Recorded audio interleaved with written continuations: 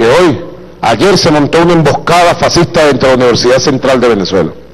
Yo he ordenado una investigación completa, compañeros, estudiantes, profesores, una investigación completa de todos los hechos. Le he pedido a la fiscal general, le he pedido al Consejo de Derechos Humanos que he creado, le he pedido a la Asamblea Nacional que investigue completo, le he pedido al Ministro de Interior y Justicia una investigación completa de los hechos de agresión de estos grupos de guarimberos que ayer se metieron en la Universidad Central y agredieron estudiantes, establecimientos. Y también quiero decir que he pedido investigación de alguna gente que haya podido entrar con armas allí. Cero armas.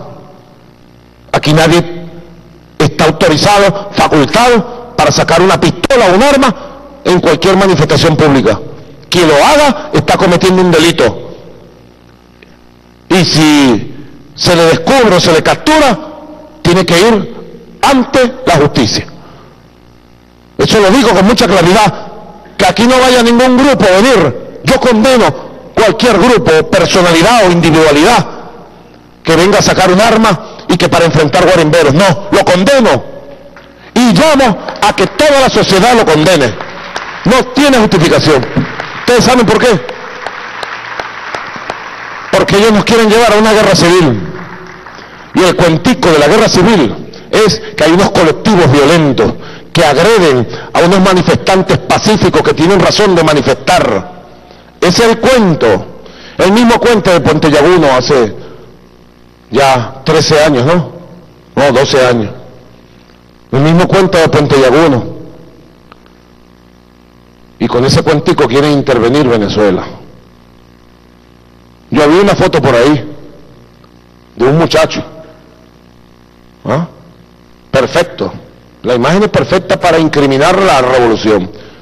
Casco de motorizado, chaqueta roja y una 9 milímetros.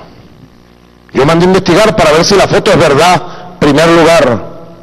Y en segundo lugar, de ser verdad, mandé a investigar a la persona que hizo eso. No sé quién es, no sé quién es. No sé quién es. Pero si fuera cierto, violó la ley y cometió un grave error, sea quien sea, compañero. No tengamos debilidad frente a hechos como estos, porque hechos como estos son los que pueden arrancar una espiral para justificar un caos, crisis política, guerra civil e intervención extranjera. Así que nos estamos jugando todos los días por la paz. Por eso es que yo no voy a hacerme loco ni a callar, no, no, no. Yo condeno cualquier grupo que salga con violencia, con armas. Así como condeno de manera directa todos los días a los grupos de las bandas extremistas de derecha, de los guarimberos. Los condeno, los condeno. Y los investigamos y los capturamos. Y hay varios grupos importantes de dirigentes y les digo, cada día va a haber sorpresa. No puedo decir más. Pero las investigaciones van muy bien para buscar las fuentes de financiamiento y demostrarle a nuestro pueblo y al mundo quién está financiando y sosteniendo a estos grupos que quieren un golpe de Estado en Venezuela.